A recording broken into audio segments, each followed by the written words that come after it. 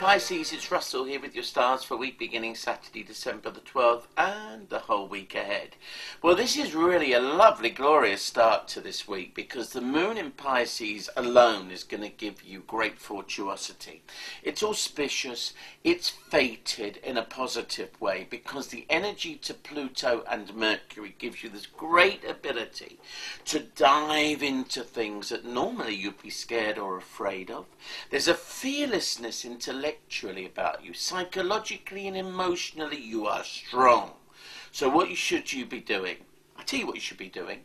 Plan your future today. Start looking at your hopes, wishes, and dreams for the future because you won't be put off by anything. And also understand this because you do have this great run of luck, put luck together with fate, and today is a day when you'll suddenly begin to see where your destiny lies.